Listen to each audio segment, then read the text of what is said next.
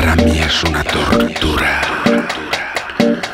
Tus pezones parecen dos bombones y tus pechos